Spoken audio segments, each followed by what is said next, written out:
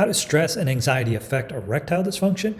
My name is Dr. Taranella, and in this video, we're going to look at some of the mechanisms involved with erectile dysfunction, including stress, anxiety, and other physiological things like nitric oxide, and how they all kind of come together to create erectile dysfunction. So, if you're liking these videos and want to support the channel in a more financial way, look in the description. There's a link where you can make a donation. If you do make a donation, I would greatly appreciate it. Helps me continue with these videos and put more uh, effort into them. Thank you again for watching. If you want to see more videos like this, click on the like button and subscribe to the channel to get more like it. All right, let's look at the effect of stress and anxiety on erectile dysfunction.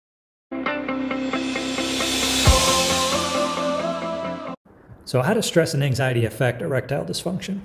That's what we're going to look at. But first, we want to understand what is erectile dysfunction. And there's two main ways or two main manifestations of this issue. Uh, for most, it's going to be the inability to maintain an erection once one is achieved. And in some cases, people can't even get a full erection, and that would also be considered erectile dysfunction. And that would, most cases, going to be a more severe situation. The activity involved in this process is one that involves mostly blood flow, but there's both psychological and physiological things that need to be appreciated with this process of erectile dysfunction. Stress and anxiety fundamentally change the activity in the nervous system, shifting more to a fight or flight activity. And with this shift, several different things happen, uh, most importantly, a change in the blood flow. During stress, some areas of the body get more blood flow and some areas of the body get less blood flow. And this kind of coincides with the idea of fight or flight. And when we're in the classic fight or flight activity, the situation demands more blood flow to the muscles to engage in things like fighting or flighting. So that makes sense. The blood flow is going to be pulled away from different areas and pushed more towards the muscles in things that might be needed for fight or flight activity or stress, stress related things.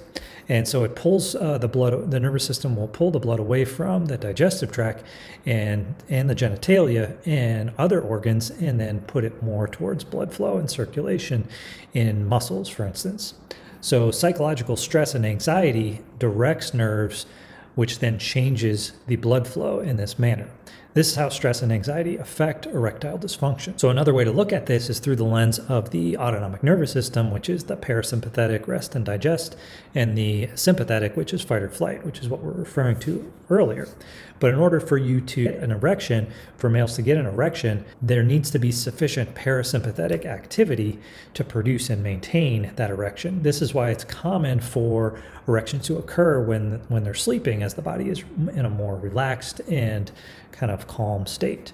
Because stress and anxiety can disrupt that parasympathetic activity, thereby disrupting the blood flow, it can trigger erectile dysfunction. With that happening, that erectile dysfunction can kind of create a psychological pattern as well. And the problem can get worse because you're worrying about if it's going to occur again.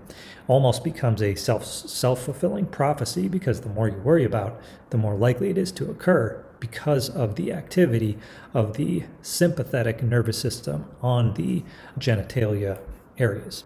Now, that does not mean that everyone that has erectile dysfunction or ED has it due to psychological reasons or that your ED problem is all in your head. It does mean, though, that there is a psychological component to erectile dysfunction that needs to be uh, appreciated when you're working with this problem and trying to uh, get a resolution. There's also a biochemical side to this as well, which I alluded to, and this has mostly to do with nitric oxide. Nitric oxide is a potent uh, vasodilator, so it dilates the arteries, um, allows for that blood to flow to, to the area when it's not being restricted by the sympathetic activity. The problem is with nitric oxide, the actual molecule of nitric oxide is used up fairly quickly and its presence is fleeting. And many things can interfere with nitric oxide production and utilization because many things can interfere with the enzyme that produce this molecule. The main thing being free radicals. This is why most NO supplements are not very effective at increasing NO and actually helping with ED because the molecule itself is used up very quickly and any increased production of nitric oxide is going to be short lived. You'll get more out of your efforts to improve erectile dysfunction if you focus on maintaining healthy testosterone and androgen levels, improving blood sugar and antioxidant status. These things will, will encourage optimal nitric oxide, oxide production and therefore blood flow to the genitalia. This is because testosterone upregulates the production of nitric oxide, and reducing blood sugar will also reduce your body's overall antioxidant status. That is, in the case that you have hyperglycemia, prediabetes, uh, diabetes, and things like this. If you have normal blood sugar, you can then just focus mostly on your overall antioxidant status on healthy lifestyles, things like consuming uh, products that have lots of toxins in them and overly processed products may have more, more likelihood to produce free radicals and then reduce your nitric oxide production. Okay, that should give you a better understanding of how stress and anxiety affect erectile dysfunction. Now, if you do have a separate question about anything in this video, please drop it in the comment section and I'll be happy to answer, or I may do a separate video on that if there seems like there's enough interest.